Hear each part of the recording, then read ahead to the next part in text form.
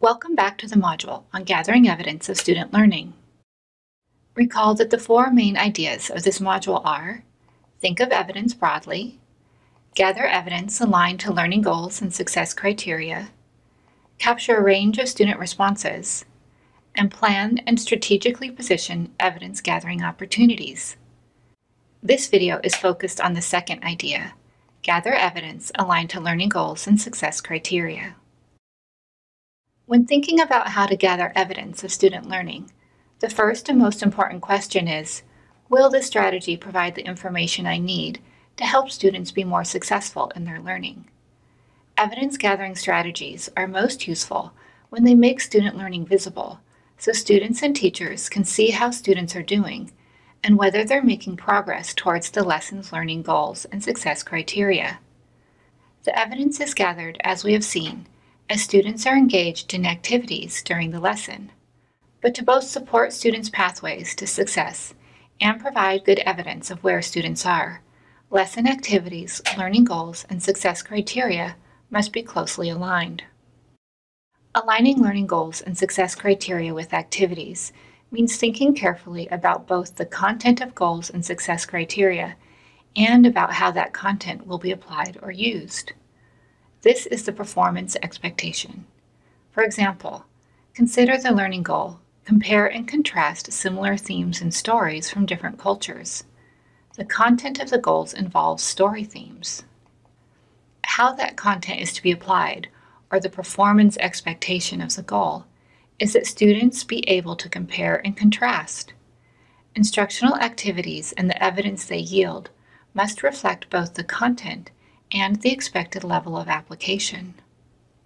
Involving students in the choice of activity creates a stronger connection to the learning process for students and thus results in greater student agency. While students may at first be reluctant to step into the partnership role, they come to understand this expectation and take on greater responsibility for their own learning. For example, imagine that the lesson goal is that students can communicate on familiar everyday topics using a variety of words and phrases. Asking students to communicate about the historical events would not be well aligned with the goal because the content is different. Asking students to make a list of everyday activities might be similar to the content of the goal, but stop short of asking students to actually communicate using a variety of words and phrases. Making the list might be on the pathway to the goal, but doesn't reflect the accomplishments of the goal. Asking students to have a discussion about an everyday activity is aligned to both the content, that is, familiar topics, and to the performance expectation, which is to communicate using a variety of words and phrases.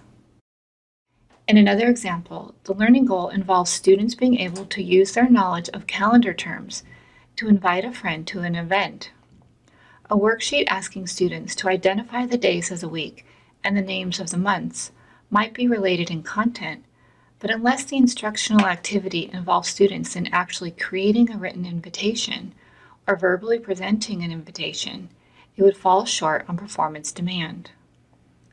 As a final example, if a teacher wants to know if students can explain a character's point of view based on the analysis of a story, then an instructional activity asking students to explain the character's point of view in a given story, orally or in writing, would provide good evidence of learning. But having students construct a concept map outlining a character's belief system would not. This example differs in both content and performance demand. But an appropriately designed concept mapping activity could help students acquire the understandings they need to explain a character's point of view and provide evidence of how students are making sense of the story. But the concept map alone would still fall short by not asking students to explain the character's point of view. Combining the two activities provides the best alignment with the learning goal.